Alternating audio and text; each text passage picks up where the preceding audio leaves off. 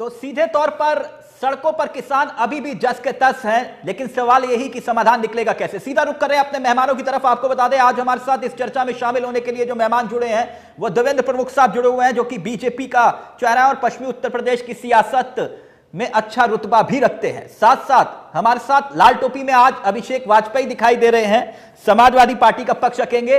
अभिषेक वाजपेयी नई बारी शुरुआत कर रहे हैं। साथ ही मेरे साथ राहुल लाल जुड़ चुके हैं, राजनीतिक विश्लेषक, जो कि अपनी बेबाक राय के लिए तमाम न्यूज़ चैनल्स पर आप इन्हें देखते हैं, सुनते हैं। राहुल लाल भी मुझे ज्वाइन कर चुके हैं। साथ ही स्वामी जायसवाल जी हमारे साथ जुड़ चुके हैं, जो कि कांग्रेस के प्रवक्ता हैं। कांग्रेस का पक्ष रखेंगे इस पूरे मुद्दे को लेकर। साथ ही पंडित जी मेरे साथ जुड़ चुके हैं, जो कि किसान नेता हैं। भारतीय किसान यूनियन से। आप सभी का बहुत बहुत स्वागत है। सबसे पहले मैं चर्चा की शुरुआत प्रमुख साहब आपसे करना चाहूँगा। अगर मेरा ऑडियो आपको आ रहा है मांग की जा रही है मारे गए किसानों को मुआवजा दिया जाए। मांग जायज़ है? देखिए तिलक सर मैं सबसे पहले तो ये क्लियर करना चाहूँगा कि जिस तरह से ये घटना घटी है आपने देखा है लखीमपुर खीरी पे भी चर्चा आज हो रही है। मुझे बड़ा अच्छा लग रहा है कि लखीमपुर की चर्चा करने वाले वो लोग शायद ये भूल रहे हैं कि जिस दिन लखीमपुर के किसानों से बात हुई थी, जिन परिवारों में घटना घटी थी तो वहाँ जब मुआवजे की बात हुई थी या नौकरी की बात हुई थी तो यही लोग जिनकी आज भाषा चेंज हुई है, वो बैठकर ही तय करके आए थे कि कितना मुआवजा और कैसे नौकरी किस परिवार को देनी है। शायद उस समय वो भूल गए कि हमें जो अपना जो दूसरा रूप है, वो दिखाना है। तो अगर इतनी ही बात थी तो उस समय फैसला करने की क्या जल्दबाजी हो रही थी? उस समय तो मुझे लगता है हमारे जो भाई हैं राकेश जी उस समय मंच पर बैठकर बहुत अच्छे से बात कर रहे थे। दूसरी बात मैं ये कहता हूँ कि आप भी कह रहे हैं इस बात को कि माननीय प्रधानमंत्री जी ने जिस तरह से इस कानून को वापिस किया है वो सिर्फ़ एक ही बात है इसमें कानून में कोई कमी नहीं है कि कुछ लोग जो हैं हम्म, वो किसान हैं मैं नहीं उन्हें नकार सकता। चाहे उन्हें भ्रमित किया गया हो चाहे जिस तरह से कोई बात आई हो जब संख्या संशय ये होने लगा कि उन लोगों को भी इस कानून में कुछ कमी लग रही है तो फिर माननीय प्रधानमंत्री जी ने देरी नहीं की। जो चाहते हैं किसान भाई वो तैयार हैं। किसान इस देश की रीढ़ है। किसान इस देश का सम्मानित वो हिस्सा है जिसको हम सब मानते हैं। चाहे वो देश का बड़ा पॉलिटिशियन हो चाहे बड़ा राजनेता हो किसी भी तरीके से अभिनेता हो अभिनेता के साथ साथ बड़ा बिजनेसमैन हो उद्योगपति हो कोई भी किसी लाइन से हो या आम नागरिक हो वो सब किसान से कहीं ना कहीं किसी ना किसी पृष्ठभूमि से। तिलक जी जुड़ा हुआ है तो किसान इस देश के लिए भारत के लिए सर्वोपरि है। उसमें न कोई बड़ा न छोटा।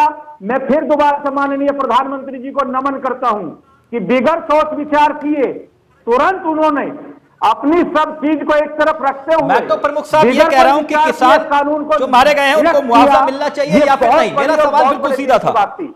लेकिन जिन लोगों को जो काम करना है चाहे वो कोई भी है मुझे नाम लेने की ज़रूरत नहीं है। वो भोले भाले किसानों का पीछा छोड़ने वाले नहीं है। क्योंकि वो इस मकसद के लिए बैठे ही नहीं थे कि ये समझौता होगा। उनको तो इस बात का बड़ा दुख हो रहा है कि आम आदमी बड़ा इससे संतुष्ट हुआ है कि माननीय प्रधानमंत्री जी ने लाभ हो या नुकसान हो। जनता के प्रमुख देश के मन को पढ़ने का है। और उन्हें लगा क्यों घुमा रहे आप? सवाल को सीधा पूछ रहा हूँ। किसानों को मुआवजा चाहिए या फिर नहीं? जो छोटे किसान हैं जो लगभग अस्सी परसेंट जिनकी प्रतिशत आबादी उत्तर प्रदेश से लेकर पूरे देश में है उन सबको कहीं ना कहीं किसी ना किसी रूप में ये किसान बिल से फ़ायदा था। लेकिन फिर मारे गए किसानों को मुआवजा मिलना चाहिए या फिर नहीं? प्रमुख साहब आप मुझे घुमाइए मत। मेरा सीधा सवाल है मारे गए किसानों को मुआवजा मिलना चाहिए या फिर नहीं? प्रमुख साहब, आप मुझे घुमा क्यों रहे हैं? मैं एक चीज़ और क्लियर कर रहा हूँ। मैंने तो स्पष्ट मुआवजे पे ही बात की है, तिलक जी। मैं कह रहा हूँ कि लखीमपुर की घटना का ज़िक्र आपने शुरू बिल्कुल कहा डिबेट में बैठकर। और जब वहाँ समझौता हुआ तो उसे कराने वाले कौन लोग थे? उनका नाम बताओगे मुझे जरा? वो मुआवजा तय हुआ या नहीं हुआ? अगर राकेश टिकैत जी उसी समय ये कहते, वहाँ से उठकर कि ये तो सब पर बात हो रही है फिर तो वो पुलिसकर्मी जो घायल हुए थे लाल किले पर जो झंडा चढ़ाया आपने भेजा क्यों था फिर? या जो हत्या तमाम राजनीतिक दल गए नहीं, आपने समझौता करवा लिया टेबल पे। समझौता करवाया किसने? फिर सफ़र मुकदमे क्यों ना हो उसी तरह पहले उसके बाद मुआवजे की चर्चा हो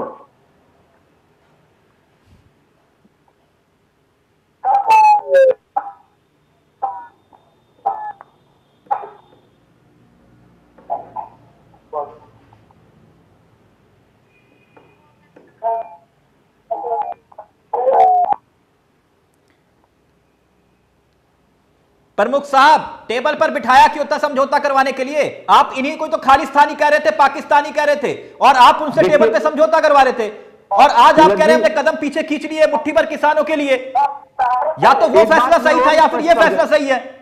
एक बात और मैं आपको स्पष्ट कर रहा हूँ बहुत जल्दी मैं कर रहा हूँ क्योंकि बहुत बड़ा पैनल आपके साथ बैठा इस समय और सबको समय चाहिए। मैं ये कह देना चाहता हूँ कि किसी भी भारतीय जनता पार्टी के बड़े नेता का या जिम्मेदार नेता का बयान इस तरह का नहीं आया कि किसानों का नाम लेकर कोई वर्ड उन्होंने ऐसा किया हो। व्यक्ति विशेष की बात आई है। व्यक्ति विशेष के बयानों पर लोगों ने सरकार के लिए, बड़े नेताओं के लिए और माननीय प्रधानमंत्री और देश के गृह मंत्री और माननीय जो है कृषि मंत्री या माननीय सुप्रीम कोर्ट जो सुप्रीम पावर है, उसको भी लोगों ने नहीं बख्शा। तब जाकर अगर किसी ने गलानी में कुछ कहा है अच्छा। तो उसमें भी भारतीय जनता पार्टी कहीं से व्यक्ति विशेष की बात आई है। बड़े नेता अनिल साहब क्या कह रहे थे? कोई बयान मुझे नहीं है। अगर आपके खलुए तो पाकिस्तानी खालिस्तानी तो ये किसने बोला? ये किसने बोला साहब? आपने डिबेट में बैठ के प्रमुख साहब आज आप बदल रहे हैं। आपने बैठ के कई बार बोला इनको कि ये खालिस्तानी है ये फंडिंग आ रही है। क्या प्रमुख साहब ने नहीं बोला? मैं खुलकर चुनौती दे रहा हूँ प्रमुख साहब आपने नहीं बोला क्या? मैं स्पष्ट कर देना चाहता हूँ। मैंने कहा था कि माननीय सुप्रीम कोर्ट, माननीय देश के प्रधानमंत्री, जो किसी पार्टी से नहीं, देश के प्रधानमंत्री हैं। पार्टी की बात बात में जाइए, क्योंकि देश का सबसे गौरवान्वित और बड़ा पद है तो हम सबका है। चाहे वो जाति विशेष की बात करो, पार्टी विशेष की बात करो, धर्म विशेष की बात करो। प्रधानमंत्री प्रधानमंत्री, और सुप्रीम कोर्ट का मैंने ज़िक्र किया कि माननीय सुप्रीम कोर्ट दुनिया का सबसे बड़े लोकतंत्र का सबसे बड़ा कोर्ट है। उसको आज बदल रहे हैं। आज पंडित जी पंडित जी एक बात बताइए। ये आंदोलन वापिस क्यों नहीं ले रहे आप लोग? वजह क्या है? एक तरफ़ आप कह रहे हैं कि हम टेबल पे बात करेंगे और दूसरी तरफ़ कह रहे हैं कि बीजेपी को हराएँगे। मतलब क्या है? पंडित जी किसानों का स्टैंड क्या है?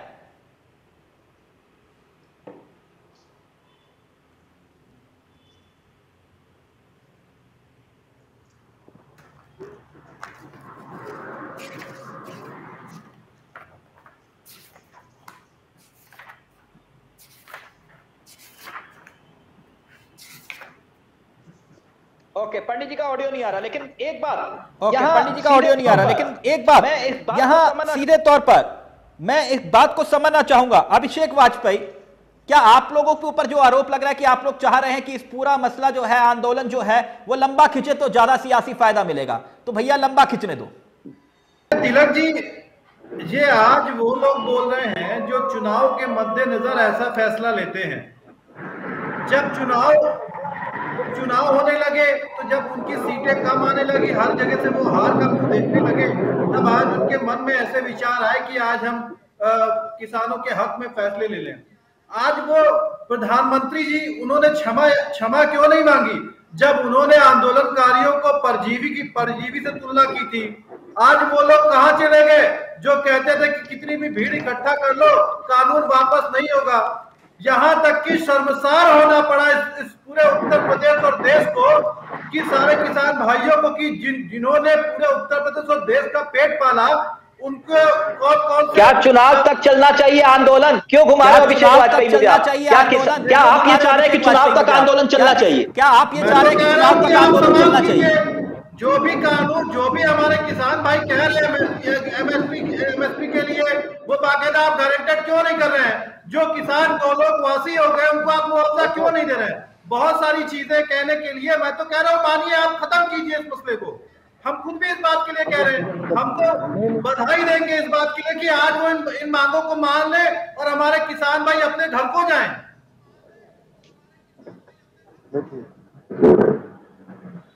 ओके अब मेरा ऑडियो आ रहा है अगर आपको तो मेरा सवाल यही है। अब मेरा ऑडियो आ रहा है अगर आपको तो मेरा सवाल यही है कि कानून वापसी नहीं तो घर वापसी नहीं। आप यही तो नारा लगा रहे थे और आज आप अपनी मांगों को बढ़ाते जा रहे हैं तो फिर रास्ता निकलेगा कैसे? सॉरी बोलूँगा कम्युनिकेशन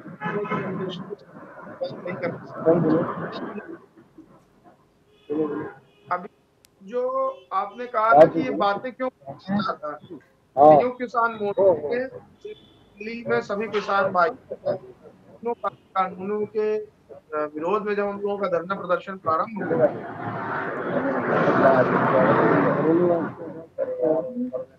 कई बात नहीं आ रही है। की बात हो पानी समस्या का कारण है। अपनी बात की तब उसको इतना तरीके शुरू से आंदोलन को विभिन्न से बदनाम करने उनकी अभी बात मैं सुन रहा था अभी लास्ट टाइम मुझे दो चार लाइन सुनाई विभिन्न प्रकार की बातें करके जब वो बदनाम करने की बात डिबेट बढ़िया नहीं हो रहा है लोग का आवाज़ नहीं आ रहा। या विभिन्न प्रकार की बात। आज फिर से वही बात सबके सामने आ रही। है। ये क्या एमएसपी पर बात हम इस दौरान नहीं की थी बात करते हैं। समस्या ये आती है कि जैसे पूर्व में प्रधानमंत्री जी वहाँ पर वार्ता पीयूष गोयल जी आदरणीय नरेंद्र सिंह तोमर जी के साथ वार्ता उस वार्ता के दौरान जब भी आते थे तो वो पहले हम वार्ता करते थे फिर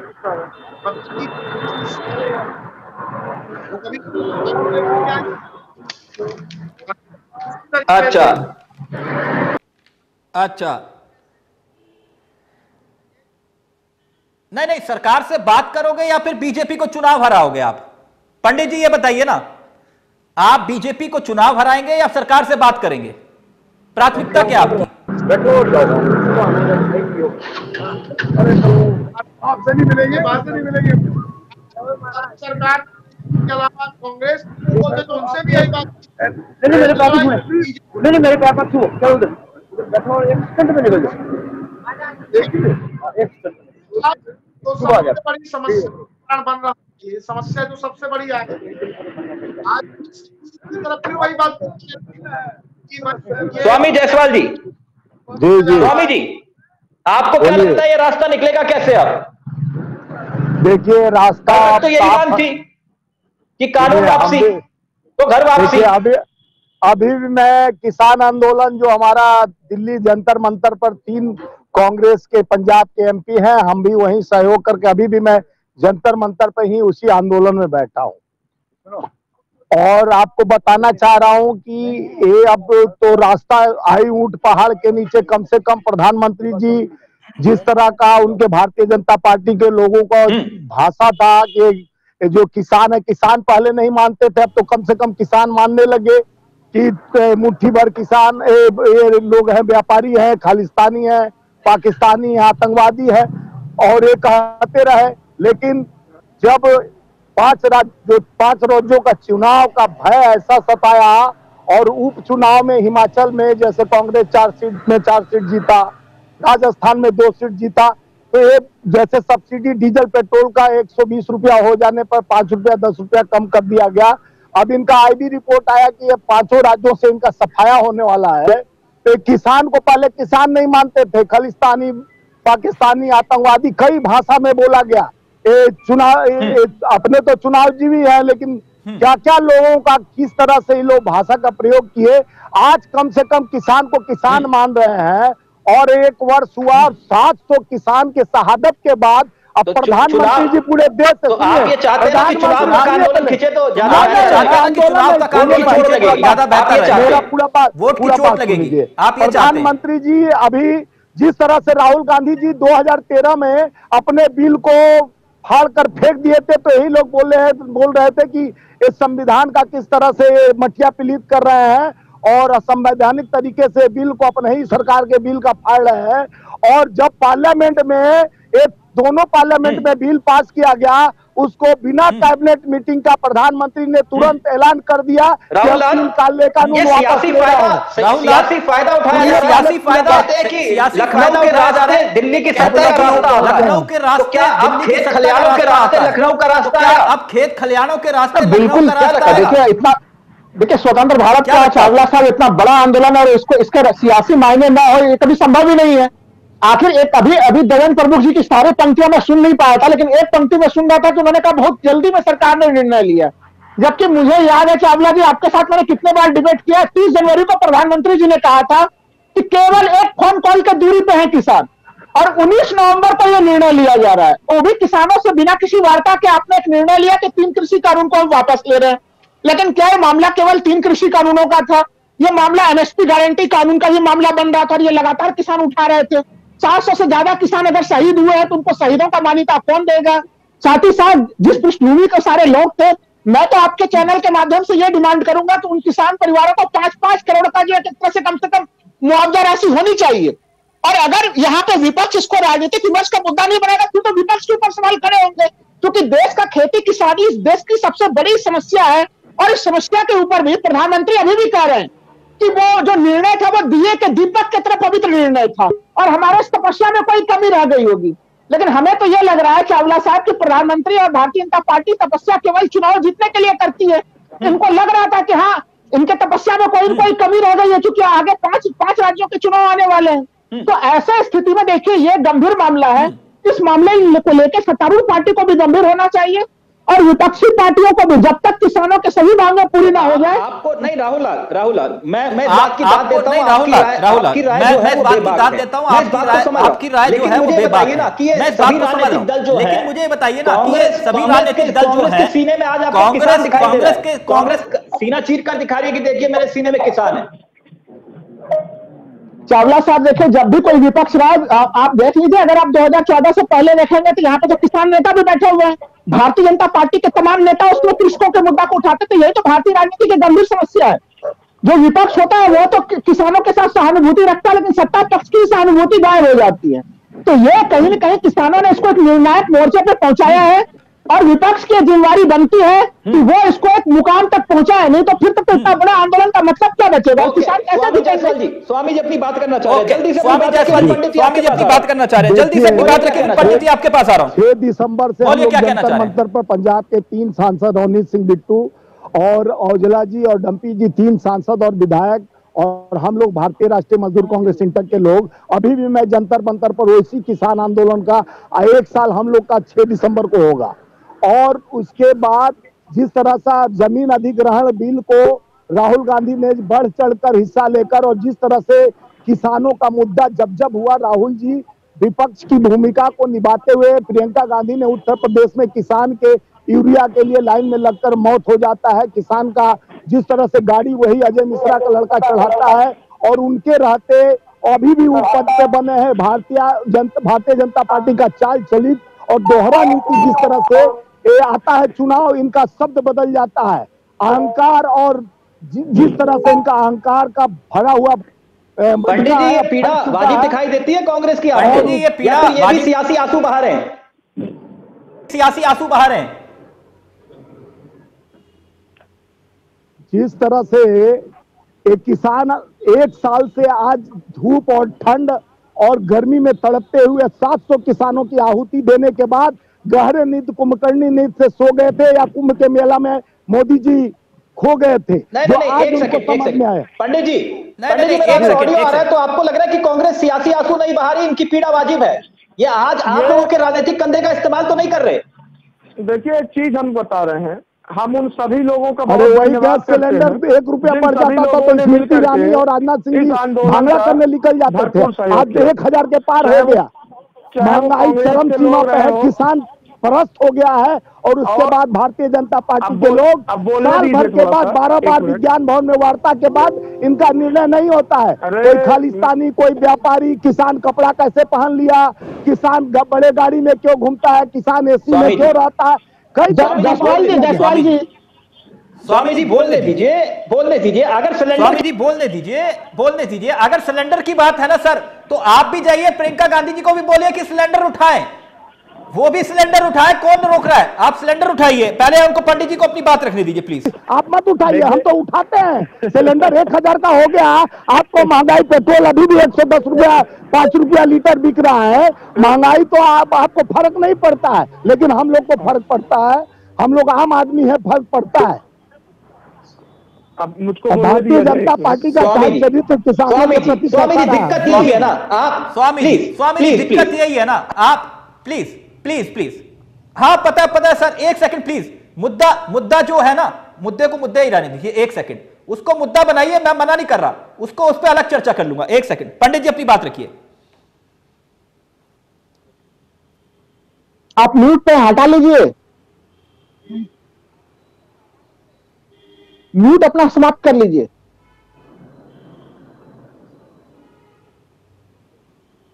रहा हो कल रहा हो परसों रहा हो। जब भी ऐसी समस्या आई है अरे भैया जब भी आंदोलन में इस चीज़ को लेकर के बातचीत की अरे उनके पास जवाब क्या होगा कि देंगे जवाब? भारतीय जनता पार्टी के लोग किसान मुद्दे पर जवाब दे ही नहीं सकते हैं क्योंकि किसान को धोखा भ्रम और जुमला देने का काम जिस तरह का प्रधानमंत्री और कृषि मंत्री ने किया है देश का जनता देख रहा है। आप बोलने दीजिए ना और उसका जवाब आने वाले स्वामी जी। जी। स्वामी जी। एक मिनट अपनी बात तो पूरी कर लेने दीजिए। आप जब बोलेंगे तब कोई दूसरा नहीं स्वामी जी। एक बार आप बोलने दीजिए। हाँ किसानों का विकास आप ही ने किया रुक तो जाइए। हाँ किसानों का विकास आप ही ने किया रुक तो जाइए। समस्या जो आ रही है सबसे बड़ी अब मैं अगर आप एक मिनट दें थोड़ा सा तो मैं अपना पक्ष रखना चाहता हूँ।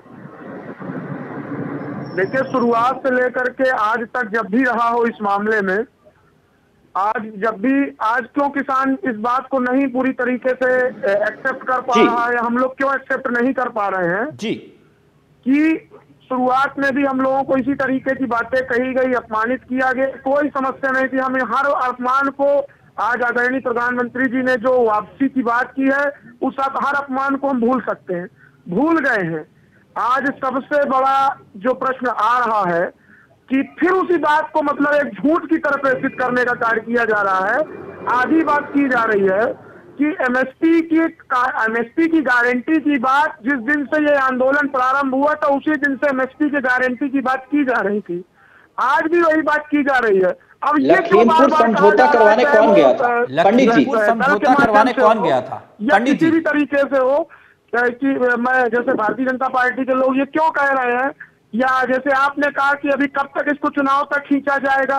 विषय चुनाव ही नहीं है। हम लोग तो राजनीतिक दल के लोग हैं। अभी शीतकालीन सत्र प्रारंभ होने जा रहा है। पंडित जी, उस शीतकालीन सत्र जी।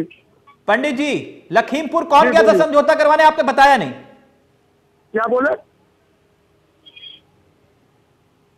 हेलो तो सुनाइए नहीं दे रहा है। जी बोलिए ना। लखीमपुर समझौता था। लखीमपुर समझौता करवाने कौन गया था? समझौता? अरे जब भी किसान भाइयों को जहाँ भी आवश्यकता हुई है कहाँ भी पहुँचा गया है। उसमें समझौता विषय थोड़ी था। वो समस्या में हमारे भाइयों के ऊपर गाड़ी चढ़ाई गई थी। हम लोग नहीं जाते हमारे परिवार के व्यक्ति को नहीं जाना चाहिए। आप बताइए आप जैसा कहे आपसे ही मेरा प्रश्न है क्या जब कहीं अच्छा। पर ऐसी स्थिति आती है अच्छा। तो क्या होता? Okay okay. अभिषेक वाजपेयी अभिषेक अभिषेक वाजपेयी। नहीं नहीं नहीं ये ये सियासी नज़रिए से इस पूरे पूरे आंदोलन को कांग्रेस क्या हाईजैक करने की कोशिश कर रही है? अभिषेक वाजपेयी। ऐसी जाने क्योंकि कांग्रेस से करे तो ज़्यादा ज़्यादा अच्छा रहेगा। हमारी बात हम अपनी बात करेंगे हम कांग्रेस से हमारा कोई लेना देना नहीं है। देखिए तिलक जी बड़ी साफ़ सुथरी सी बात है? ये बताइए कि कोई हमारे आंदोलन का सात सौ हाईजैक- किसान भाई शहीद हुए है? उनको मुआवजा मिलना चाहिए नंबर एक बात। एमएसपी को गारंटेड कानून बनाए नंबर दूसरी बात। और जो सबसे बड़ी चीज़ ये है कि जो इनके ऊपर भारतीय जनता पार्टी वालों के ऊपर भरोसा इसलिए नहीं कर सकते हैं क्योंकि आपने देखा कि उन्नाव के सांसद साक्षी महाराज ने कहा कि ज़रूरत पड़ेगी तो हम दोबारा कानून ले आएँगे। तो यह सब वाक्य बताते हैं कि ये दोहरे चरित्र के मापदंड के लोग हैं। इनकी कथनी और कथनी दोनों में अंतर है। आज प्रधानमंत्री जी की और गृह मंत्री जी जब हर जगह से सीटें भारतीय जनता पार्टी की हारने लगे, तब उनको किसान भाइयों की याद आई। जब जब किसान भाइयों के ऊपर पत्थरबाजी की आतंकवादी उनको बताया जा रहा था तब कहा चले गए थे ये लोग? राहुल लाल विपक्ष की पीड़ा वाजिब है। लगता है राहुल लाल विपक्ष की पीड़ा वाजिब है? लगता है आपको?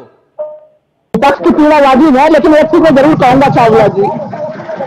देखिए किसानों का मामला जो अब तक हुआ है क्योंकि अब एक इतिहास बनता हुआ हमें दिख रहा है कि किसानों ने अपने संघर्ष के आधार पर एक इतिहास बना, बनाने के कगार पर वो नज़र आ रहे हैं। लेकिन जो लोग आज सत्ता पक्ष में चाहे जो लोग विपक्ष में भी रहे हो केंद्र में किसानों का ग्रोथ रेट उसी स्तर पर रहा है। हमें अभी भी याद है कि 2004 से 14 तक भी उस समय भी मनमोहन सिंह के सरकार में एग्रीकल्चर ग्रोथ रेट का लक्ष्य चार परसेंट रखा जाता था मुश्किल से तीन परसेंट साढ़े तीन परसेंट पे पहुँचा जाता था। अभी भी अगर 2014 से लेकर 2021 तक के भी अगर गिनती करते हैं चावला जी तो एग्रीकल्चर ग्रोथ रेट कभी भी साढ़े तीन परसेंट से इस सरकार में भी नहीं गया, जो दावा कर रही थी कि 2022 तक में किसानों की आय डबल हो जाएगी। मैंने आपके डिबेट में कई बार बोला था कि इन्होंने प्रधानमंत्री जी ने एक अशोक गहलोत कमेटी की बनवाई थी। 2016-17 के बजट में पहली बार इस बात पर रखा गया था कि 2022 में किसानों की बजट को डबल करेंगे। उस अशोक गहलोत कमेटी ने अनुशंसा की थी कि इसके लिए आपको 12 परसेंट का एग्रीकल्चर ग्रोथ रेट चाहिए। कहा तो 12 परसेंट चाहिए आय को डबल करने के लिए। और कहाँ पे हम लोग चार परसेंट के ग्रोथ रेट पे भी नहीं पहुँच पा रहे हैं? तो स्पष्ट है कि ये सरकार केवल सपने बेचने का काम कर रही है, कोई और काम नहीं कर रही है। ऐसे स्थिति में किसानों ने जो कुछ भी सफलता अब तक हासिल की है, वो अपने बल पे हासिल की है, अपने बड़े आंदोलन के बल पे हासिल की है, जिस आंदोलन को उन्होंने तमाम गांधीवादी तरीके से चलाया, जबकि सत्तारूढ़ पार्टी इनके आंदोलन को बदनाम करने का हर संभव प्रयास करते हुए दिखी चावला जी। तो यह तो एक वस्तु स्थिति है। प्रधानमंत्री की सबसे महत्वपूर्ण चीज़ कि प्रधानमंत्री की नींद अगर टूटी है तो अच्छे से तो नींद खोल लीजिए। कि हमने किसानों के हितों में बहुत काम किया है। वो कह रहे हैं कि किसानों के हितों में तो हमने ही काम किया। बीजेपी सरकार ने तो सिर्फ़ लूटने का काम किया। देखिए चावला जी मैं आंकड़ों के साथ बात करता हूँ। आंकड़ों के दृष्टि से अगर हम लोग देखें तो वो, वो सरकार भी जो है कि फेल थी। लेकिन हाँ ये मैं ज़रूर कहूँगा कि कांग्रेस अभी सत्ता में नहीं है। वो अभी सत्ता में नहीं है तो इसलिए उनसे सवाल क्या ही पूछा जाएगा? लेकिन हाँ एग्रीकल्चर आप देख लीजिए, उस समय का इकोनॉमिक सर्वे को उठा के सरकार ग्रोथ रेट का लक्ष्य रखती थी कि हमको एग्रीकल्चर के क्षेत्र में चार परसेंट का ग्रोथ रेट मिल जाए, उसी को महत्वाकांक्षी लक्ष्य रखते थे उस जमाने में। लेकिन ठीक है जनता ने उन्हें अस्वीकार किया। लेकिन आज के सत्तारूढ़ पार्टी से तो अपेक्षा है ना इनकी। तो आज जो डबल इंजन की सरकारें चल रही है देश में। आप केंद्र में सत्ता में है, सत्रह से ज़्यादा, सत्रह राज्यों में आपके जो है कि आपकी सरकार है एनडीए की। फिर ऐसा स्थिति में किसानों की यह दुर्गति क्यों है? तो इसका जवाब कौन देगा? आपको 2022 तक किसानों के आय को बढ़ाना था। आपने नबाज के जो आंकड़े आ रहे हैं आपके किसानों के कर्ज बढ़ा दिए। उनकी आय घट के आधी रह गई। तो हम्म। आप तो सोचिए कि हम लोग नवंबर में खड़े हैं हम लोग। अब अब 2022 में कितना समय बचा? आपको क्या लगता है कि रास्ता निकलेगा कैसे इस आंदोलन का? आपको क्या लगता है कि रास्ता निकलेगा कैसे इस आंदोलन अगर अगर सरकार में आप होते आप कह रहे हैं कि अगर सरकार में आप होते आप कह रहे हैं कि सरकार सरकार ध्यान नहीं दे रही है। अगर आप सरकार में होते तो क्या करते?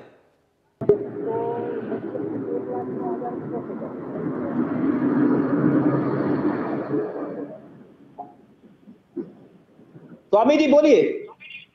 से पूछे हैं। जी बोलिए। देखिए। सरकार में होते तो क्या करते? सरकार में होते तो क्या करते? तो ऐसा मुसीबत नहीं आता। किसानों को इतना लंबा आंदोलन करने का ज़रूरत नहीं पड़ता। क्योंकि देखिए हमारे नेता राहुल गांधी जी ज़मीन अधिग्रहण बिल को पास कराने के लिए जिस तरह से आंदोलन किया और सफलता प्राप्त हुई। और जब भी अपने ही बिल को जिस तरह से लोगों को फाड़ 2013 में अपना बिल फाड़ दिए और उसको असंवैधानिक बताया गया। मैं हाथ जोड़ता हूँ बस। महाराज मैं हाथ जोड़ता हूँ बस बहुत हो गया। स्वामी जी बहुत हो गया। प्लीज़ इतना आज इतना मत करिए ना बस इतना कितना एक चीज़ मैं एक चीज़ मैं बताना चाहता हूँ आपसे। एक चीज़ एक चीज़ मैं आपको बताना चाहता हूँ। समझ। कहा गया जिस तरह का उनके साथ दुर्व्यवहार जिस तरह से कीले ठोके गए जिस तरह से लाठी का बौछार किया पानी का बौछार किया और उनको आतंकवादी खालिस्तानी कर कर आज साल भर के बाद नींद से जागकर भारतीय जनता पार्टी शासन को अब आभास हुआ कि हम पाँच राज्यों से सफाया। आने वाले 2024 को मेरा विदाई संभव है तो 2000 रामलीला मैदान याद है भूल गए। रामलीला मैदान रामलीला मैदान याद है भूल गए। उन्नीस सौ चौरासी याद है भूल गए। अब आप पहुँच गए उन्नीस सौ चौरासी। उन्नीस सौ चौरासी याद है तभी तो पंजाब में हम सरकार बनाते हैं। क्योंकि लोगों को जिस तरह से भ्रमित करने का काम मीडिया जिस तरह से आज उनका गोदी मीडिया बन गई हाँ, है जिस तरह एक नचनिया एक नचनिया कुछ भी बोल देती है राहुल राहुल बस ये गोदी मीडिया रोदी मीडिया गोदी बस ये गोदी मीडिया रोदी मीडिया गोदी मीडिया रोदी मीडिया। आपको यही आता सवाल पूछ लो उन्नीस सौ चौरासी पूछ लो तो दिक्कत हो जाती है। सवाल पूछ लो रामलीला मैदान तो दिक्कत हो जाती है। सवाल पूछ लो अयोध्या तो आपको दिक्कत हो जाती है। सवाल लिख के भेजते हो क्या स्वामी जी आप? सवाल लिख के भेजते हो क्या कि ये सवाल मत पूछा करो? या आप भी बीजेपी नेताओं की तरह डिबेट छोड़ के भाग जाएँगे? देखिए जायसवाल जी मैं तो यही कहूँगा कि देखिए उन्नीस सौ चौरासी के दंगों के लिए माननीय प्रधानमंत्री जी जो उस समय के थे मनमोहन सिंह उन्होंने माफ़ी मांगी थी। तो वो उन्होंने गलती स्वीकार की थी उस चीज़ के लिए। तो ये तो हाँ। मामला रहा है अतीत में। तो ये इस चीज़ को तो आप रख ही सकते हैं कि भाई लोग एंकर लोग चले जाते हैं। लेकिन नहीं नहीं मैं अभी वर्तमान सुनिए राहुल जी अभी वर्तमान में जो कंगना रनावत के मुँह से मुखौटा बदल के जो बुलाए जा रहे भारत के स्वतंत्रता सेनानियों को जिस तरह से बदनाम करने और जिस तरह से गांधी जी के खिलाफ बोलना उसका हम लोगों ने जासवाल उसका पुरजोर विरोध हुआ देश के जनता ने स्वीकार नहीं किया कंगना के मुद्दे पर जो है सियासत कंगना के मुद्दे पर जो है सियासत नहीं करता हूँ। मैं कंगना के मुद्दे पर ये डिबेट ये भाई साहब ये डिबेट का पूरा बिंदु ही खत्म किया दिया जा रहा है किस विषय को लेकर के ये डिबेट है? ये किस विषय में बात हो रही है? ये कहाँ से मामला कंगना रनावत और कहाँ पहुँच गया? किसानों के मुद्दे पर चर्चा करता हूँ। अगर आप डिबेट में इन्हीं मुद्दों पर चर्चा करते हो बैठ कीजिए ना इस डिबेट को। इन मुद्दों पर चर्चा कंगना के। मुद्दे पर बात करने के लिए आया हूँ। तरह देख लीजिए हमारा आंदोलन अभी भी जारी है मैं इस ठंड में और आसमान के नीचे बैठा हूँ और बात कर रहे हैं आसमान के नीचे मैं किसान के न्याय के लिए ही बैठा हूँ और हमारे तीन तीन सांसद यही बैठे हुए हैं और पंजाब के और बहन सिंह जी के पोता रवनीत सिंह बिट्टू और अमृतसर के सांसद औजला जी और डम्पी जी तीन तीन सांसद हमारे बैठे हुए हैं और हम आंदोलन रहित कार उसी किसान के लिए हम लोग बैठे हुए हैं कि उनको एमएसपी बिल बिल के साथ साथ पार्लियामेंट पंडित जी ये क्या जी ये क्या बहस हो रही है? ये कंगना के मुद्दे पर चर्चा कर रहे हैं। मैं किसानों के मुद्दे पर चर्चा करना चाहता हूँ। अभी जो आपकी बात को बोला सियासत कर रहे हैं विषय हमारा किसान है किसान मैं पूरे जमुई में दस रात गुजारा हूँ मेरे जैसे व्यक्ति को अरे जायसवाल जी। राजनीतिक दल या किसी की जायसवाल जी जायसवाल जी ये व्यक्तिगत उपलब्धि वाली बात नहीं है ना यह तो पार्टी की उपलब्धि की बात रखी जाएगी ना। बड़े नेताओं को स्वामी जी। बिठाओ। अपने बड़े नेताओं को स्वामी जी बिठाओ। बड़े नेताओं को काजू पिस्ता बादाम मैं खिलाऊँगा। दूध का दूध का गिलास भी भिजवा दूँगा। अपने बड़े नेताओं को बिठाओ ना वहाँ आंदोलन में। इस सर्दी में।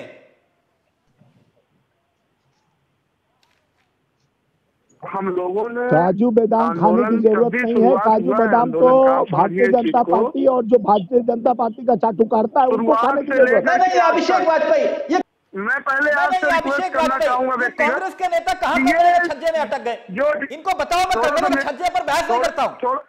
थोड़ा सा मेरी बात सुन लीजिए आप। वाले वो राष्ट्रहित के नाम पर थोड़ा सा मेरी बात सुन लीजिए। राष्ट्रहित के नाम पर मेरी बात सुनिए आप। कि कंगना पर चर्चा करेंगे? यहाँ पर के ये ये कोई ये कोई कायदे की बात नहीं है किसी की बात ना सुनना ये उल्टी की बातें करना तो कंगना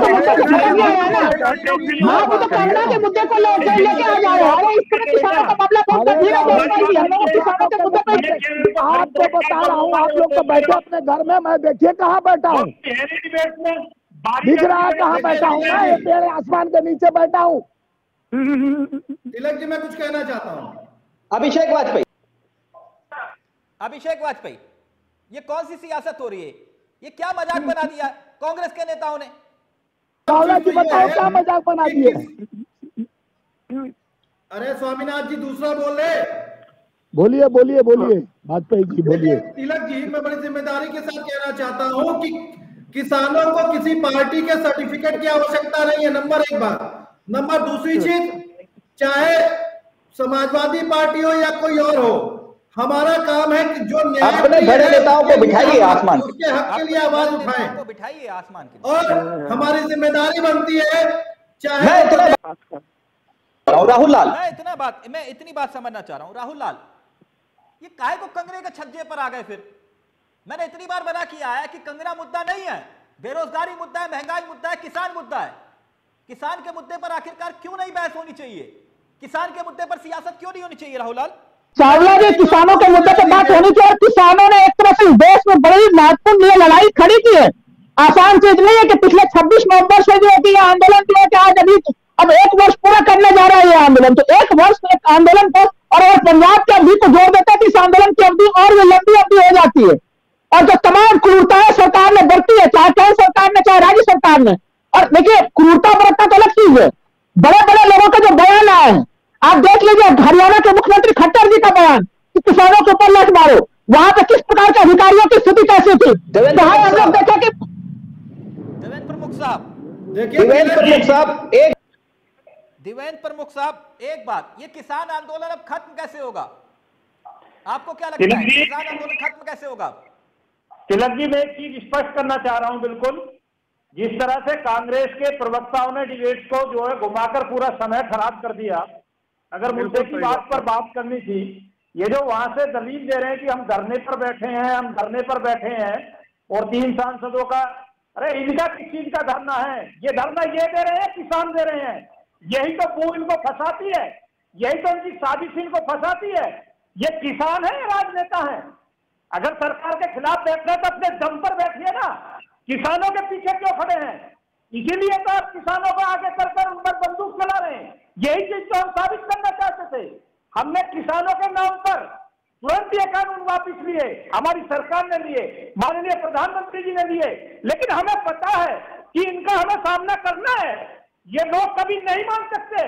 ये खत्म हुए हैं इस देश से और मिटे हैं इस देश से। तो हर पर्यटन करेंगे हर साजिश करेंगे। अरे कैप्टन अमरिंदर सिंह ने क्या कहा? क्या कहा सिद्धू के बारे में? कहाँ कहाँ की सफ़ाई देते हो आप? अरे आप साफ़ कहा है। और फिर जाकर उसने बयान दिया पाकिस्तान में। अरे यही तो बू आपको लेगी उठाकर। क्या कैप्टन साहब भी बीजेपी के थे? कांग्रेस में कोई वरिष्ठ नेता है कैप्टन साहब से ज़्यादा? और चौरासी पर फिरते हैं? सात वर्षों तक क्या किया किसानों के लिए? तुम्हारी ये दशा जो थी इसको बदलने के लिए प्रयास था। लेकिन आप लोगों ने इसमें हस्तक्षेप किया और लोगों को वर्ग लाया। फिर भी हम सम्मान के साथ एक वर्षों तक कनेक्ट नहीं है मैं लेकिन ऑडियो से आपकी बात सुन रहा हूँ जितनी बात सुन रहा हूँ उसकी बात को समझिए। मैं सिर्फ़ इतना जानना चाह रहा हूँ शहीद हुए हमने सिर्फ़ शराबत की वजह से। अरे आपने क्या किया था दिल्ली में? रामदेव जी के साथ क्या हुआ था? किसानों की जो शहीद हुए हैं। आपको भीख नहीं दे रहे तो इस तरह की बातें करते हैं। आपको प्रमुख जी आपको स्मारक बनवाना पड़ेगा और मैं आपको कह रहा हूँ इनको आपको शहीद का दर्जा भी देना पड़ेगा। ये उसी तरह से पुण्य आंदोलन है जैसे कि बनता आंदोलन पुण्य आंदोलन। था एक सेकेंड शहीद के लिए बताइए ना। स्मारक आज का जो डिबेट है थोड़ा सा एक मिनट में आप लोगों से क्षमा चाहूँगा। थोड़ा सा एक मिनट में बोलना चाहता हूँ। थोड़ा सा एक मिनट मेरी बात सुन लीजिए। उसके बाद चर्चे की बात होगी। अगर आप इतनी ईमानदारी से चैनल पर बैठकर बात करते हैं तो मानिए सत्तर साल का वर्ष कि कितने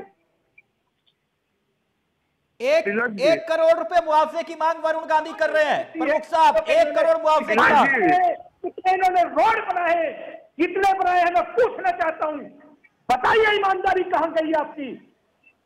अरे आप आम लड़ाई पर स्मारक मान रहे हो हमसे। आपने तो भारत के सेना के सैनिकों के सर पाकिस्तान आपका तो वीडियो नहीं आ रहा मैं माफ़ी चाहूँगा उसके लिए। लेकिन लेकिन एक एक बात अभिषेक वाजपेयी अभिषेक वाजपेयी। चाहता हूँ आपसे पंजाब के मुख्यमंत्री कह रहे हैं हम स्मारक बनवाएँगे इनकी। हाँ। आप हैं सियासत कर रही है। यही यही तो हमारी मांग है। इसी की तो बात नहीं सुनना चाहते अपनी देश से आवाज़ करके जो मुद्दा है उसको भटका करके आधी की बातें उधर करके ये बताइए जो परिवार के लोग जिन लोगों ने शहादत दी है क्या उनकी शहादत के लिए हमने जो बात कही क्या गलत बात कही है? हमने जो आज बात हो रही है डिबेट में हम लोग बात कर रहे हैं। हमने क्या शुरू शुरू से लेकर के आज तक हमने ये बात नहीं कहा है कि हम काले कानूनों की वापसी चाहते हैं हमने नहीं कहा है कि हम एमएसपी का गारंटी चाहते हैं। ये सब ये सब सीना चीर के। अब देखिए मैंने कहा ना स्वामी जी को। नहीं नहीं सिर्फ़ राहुल लाल का ऑडियो रहेगा। राहुल लाल एक बात बताइए। ये कहते हैं कि हम सब्सिडी दे देते हैं कर्ज माफ़ कर देते हैं। मैं तो आंकड़ों पे बात कर रहा हूँ। चौवालीस लाख की सब्सिडी अमेरिकी किसान को मिलती है। अगर मैं गलत हूँगा तो आप बताइएगा। ये कौन सी सब्सिडी की बात करते हैं? कर्ज माफ़ी की बात होती है। सवाल ये खड़ा होता है कि ग्यारह, साढ़े ग्यारह लाख की सब्सिडी जो है वो कनाडा की सरकार देती है अपने किसानों को। साढ़े सात लाख की सब्सिडी जो है वो जापान के किसान को मिलती है। मैं प्रति किसान की बात कर रहा हूँ। और हमारे यहाँ साढ़े पंद्रह हज़ार रुपए हिंदुस्तान में। हम जितने कॉरपोरेट घराने हैं, उनकी एनपीए जो है, वो राइट ऑफ़ पे कर लेते हैं, हम वापस ले लेते हैं। लेकिन किसानों को सब्सिडी देने की बात आती है तो फिर हम कहते हैं कि भैया, खजाने में इतना खजाना नहीं है, हम नहीं कर पाएँगे किसानों के लिए। ये इस विषय पर बहस और चर्चा क्यों नहीं होती है? फिर आ जाते हैं कंगना पर, और हम सवाल पूछते हैं तो बोलते हैं कि वो गोदी मीडिया, मोदी मीडिया, पता नहीं कौन कौन सी मीडिया? जिस तरह से भारत में कम से कम अभी हम लोग अगर देखें तो पंद्रह लाख करोड़ से ज़्यादा जो है कि सरकार ने उद्योगपतियों के राइट ऑफ़ किए हैं उनको एक तरह से सब्सिडी के रूप में दे दिया गया है यहाँ पे। और जब किसानों को सब्सिडी देने की बात होती है कर्ज देने की बात होती है तो सब लोग सिर कान हाथ तक पकड़ लेते हैं कि नहीं हमारे पास खजाना खाली है। तो स्पष्ट है कि प्राथमिकता नहीं है किसान। प्राथमिकता है वो बड़े उद्योगपति जिनके लिए सरकारें काम करती है उनके लिए जवाब। तैयार होते हैं। स्वामी जी बोले क्या कहना चाह रहे हैं? मैं कहना चाह रहा हूँ? स्मारक कौन रोक रहा है? आप भी बनवाइए कौन रोक रहा है? छत्तीसगढ़ सरकार हमारी रा, राजीव गांधी न्याय योजना के तहत जो किसानों को ऋण माफ़ और किसानों को जो सब्सिडी दिया है 1700 एमएसपी है वहाँ धान का 2500 में धान क्विंटल धान खरीदा जा रहा है तीन साल से। तो हम कथनी और करनी में अंतर होता है लेकिन हम करते हैं और भारतीय जनता पार्टी के हमारे जैसे प्रमुख जी चिल्लाना अभिषेक वाजपेयी आपके पास है। और उसके बाद देखिए, देखिए अभिषेक वाजपेयी आपके पास आ रहा। किसान देखिए मैं एक चीज़ यही कहूँगा चावला जी कि इस समय इस समय किसानों की समस्या किसानों ने पहली बार वो संगठित हुए बहुत ज़बरदस्त रूप से संगठित हुए और सभी विपक्षी पार्टियों को किसानों के साथ एक तरह से उनके आवाज़ में आवाज़ मिलानी चाहिए और सरकार को अपनी कुंभकर्णी नींद तोड़ लेनी चाहिए जिस भाषा का प्रयोग प्रमुख जी कर रहे हैं वो सर्वथा अनुपयुक्त भाषा है अगर सत्तर साल में किसी ने कुछ नहीं किया तो उसके लिए उस समय जनता ने उनको उनको सबक दे दिया है। अभी आप सत्ता में और आपकी जिम्मेवारी आप अपने जिम्मेवारी से नहीं भाग सकते और अभी भी अगर माननीय प्रधानमंत्री कहते हैं कि ये तीनों कानून ये- काले इसमें हमने हटाया है। ये अभी नहीं, नहीं, नहीं ये ये अभी अभी मैं अभी मैं स्वामी जी बताऊँगा आपको एक कहानी। सात सात साल में एमएसपी को लेकर किसी ने चर्चा नहीं की। अभिषेक वाजपेयी तो फिर ये सियासत नहीं हो रही तो क्या हो रहा है? मीटिंग हुआ था उसमें पहला प्रस्ताव था एमएसपी पर लागू किया जाए। प्रोफेसर रामगोपाल जी ने बाकायदा इस पे चर्चा करने के लिए प्रस्ताव भी भेजा हुआ था लेकिन सरकार जागी नहीं है। और जैसा कि जैसा कि राहुल जी ने कहा था मैं बिल्कुल सहमत हूँ। अरबपति इनके भारतीय जनता पार्टी के अरबपति मित्रों को फसली बीमा के नाम पे तेरह तेरह सौ करोड़ रुपए कमवा दिए भारतीय जनता पार्टी के सरकार ने। आखिर कैसे कमवा दिए? कितने लोगों को मुआवजा फसली बीमा के नाम पे मिल सका? जितने लोगों को बारिश आप चलते चलते मुझे। मैं आखिरी सवाल पूछ रहा हूँ फिर चलते मुझे। मैं आखिरी सवाल पूछ रहा हूँ फिर इस डिबेट को खत्म कर रहा हूँ। स्वामी जी। स्वामी जी सिर्फ़ स्वामी जी का ऑडियो रहेगा। स्वामी जी मुझे एक बात बताइए। आपने कहा कि तुम ये मीडिया हो वो मीडिया हो। मैं तो ठोक बजाकर किसानों के मुद्दे पर चर्चा करता हूँ। मैं ठोक बजाकर महँगाई के मुद्दे पर चर्चा करता हूँ। बहस नहीं करता। बहस नहीं करता, चर्चा करता हूँ। मैं आवाम के हर मुद्दे को उठाने की कोशिश इस मंच के ज़रिए करता हूँ। सिर्फ़ मुझे एक उत्तर दे दीजिए। अभी आप आपको समझ में आ गया होगा, ये वो वाला मसला नहीं है। मुझे सिर्फ़ एक एक, आपने किसानों के हित में बहुत काम किए। किसानों के हितों में तमाम काम किए जो दावे आप लोग करते हैं। मुझे आज तक बता दीजिए, इस समस्या का एक समाधान था।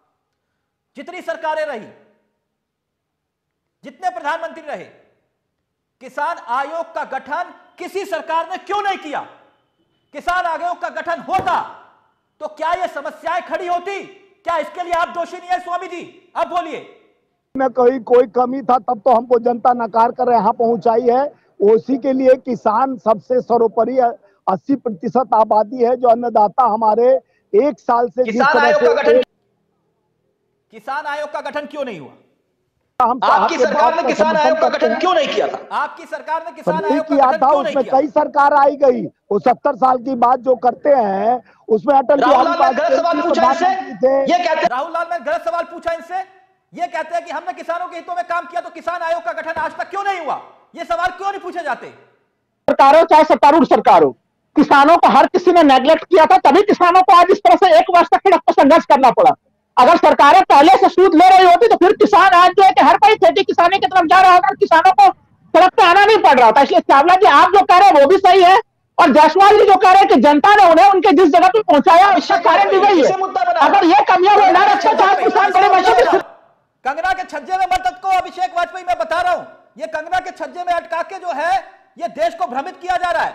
अभिषेक वाजपेयी बनाओ। चुन- जब बनाओ कि तमाम आयोग गठित किए जा सकते हैं तो फिर किसान आयोग का गठन क्यों नहीं हो सकता? अभिषेक वाजपेयी ये मुद्दा बनाओ। उतना ही मुद्दा महँगाई के लिए भी होना चाहिए उतना ही मुद्दा बेरोजगारी के लिए भी होना चाहिए बेरोजगारी के लिए भी होना चाहिए। मुद्दा हमारे लिए महिला सुरक्षा के लिए भी होना चाहिए। हर जनता से जुड़ा हर एक मुद्दा होना चाहिए। लेकिन मैं मानता हूँ कि कंगना के मुद्दे पे कभी डिबेट होनी ही नहीं चाहिए। जो अरे भैया। प्रदेश को और देश के लिए नहीं है वो किसी के लिए नहीं हो सकता है। जिसको पद्मश्री अवार्ड दिया जा रहा है वायु पुलिस सुरक्षा है और देश के किसी को कुछ भी बोल जाए उसके लिए चर्चा नहीं करें उसके लिए बंद कर दिए माइक सुरक्षा के मुद्दे पे बात करेंगे। हम किसानों को न्याय दिलाने के लिए बात करेंगे। हम हर एक वो मुद्दा उठाएँगे जो जो जनता की प्राथमिकता के तौर पे आती है। हम वो मुद्दा कभी नहीं उठाएँगे जो फिल्मी सितारों का चार चरित्र बताती है। जी तिलक जी।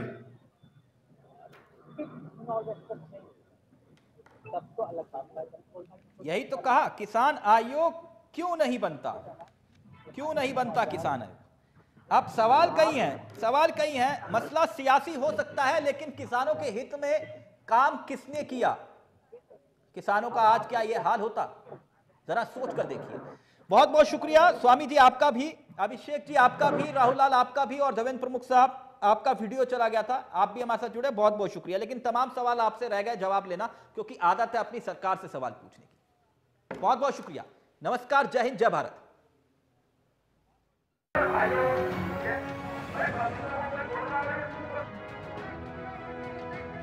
Obrigado!